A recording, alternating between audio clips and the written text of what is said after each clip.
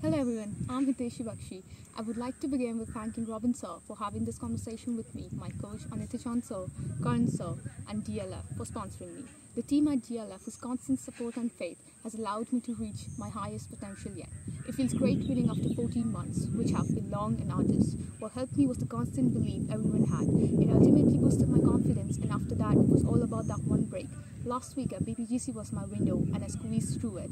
A few major changes I made was changing my fitness regime, thanks to the guidance of Anjali Ma, my fitness dietary changes led by Dr. Aruna Prasad, and a few technical tweaks under the guidance of my coach Anita Chansel.